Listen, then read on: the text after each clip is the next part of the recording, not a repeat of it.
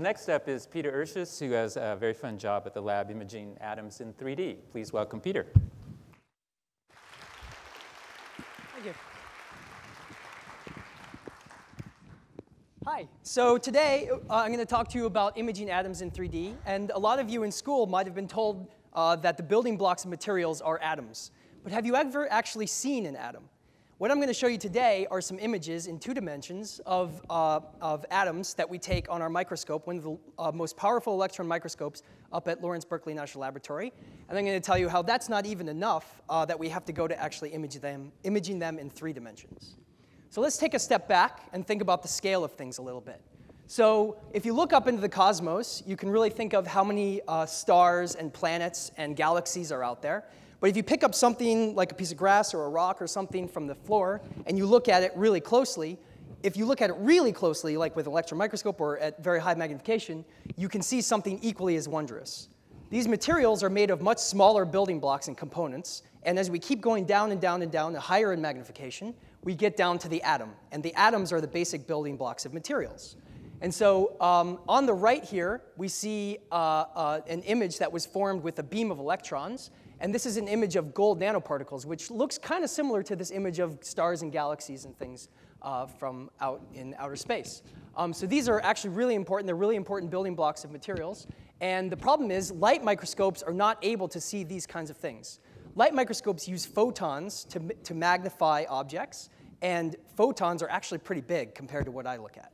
So um, electrons are much smaller than photons, and so we can use them to take small pictures of things that are much, much smaller. So although these are very small objects, they're about five nanometers in size, they contain about 10,000 atoms apiece. And so at this, even at this magnification, we wouldn't be able to tell what the really building blocks of these materials really is. So um, the manipulation of uh, atoms uh, on the very basic scale to create materials that have real world effects is, is called nanotechnology. You might have heard of it.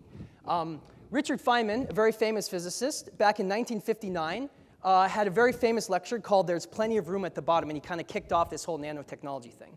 And one of the most famous quotes in that is he, it, it goes as follows It would be very easy to make an analysis of any complicated chemical substance. All one would have to do would be to look at it and see where all the atoms are. So this is a great idea. All you have to do is take a picture of something, look at where the atoms are, and you can figure out what its real world effect is going to be. That's a really great idea. So the problem was, there was one problem in 1959, and he immediately uh, told us all about that problem.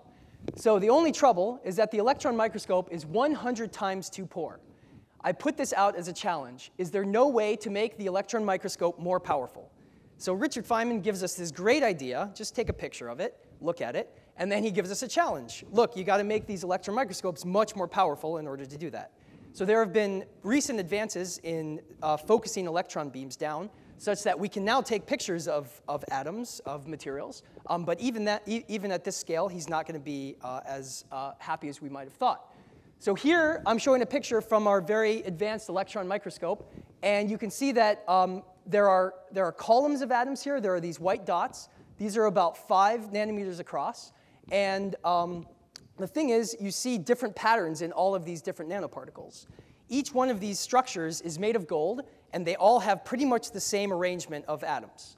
The thing is, they're all arranged in different ways, so the viewing angle actually matters a lot. So we can't tell that all of these objects are kind of very, very similar. So in certain points, you can see dots like this here and up in here. So you can see those are columns of 1 to 10 atoms that are projected in two dimensions. These three-dimensional crystals, objects, are being projected onto a two-dimensional detector, basically. Um, so this, Mr. Feynman would not be happy enough with. We can see that, we can see atoms, we can see the atomic structure of the materials, but we can't really figure out what the actual full three-dimensional size of the object is.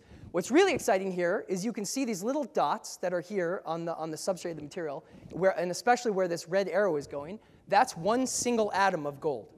So there, you've seen an atom. So the problem is basically given by this little cartoon here. Here we have this funny bunny, right?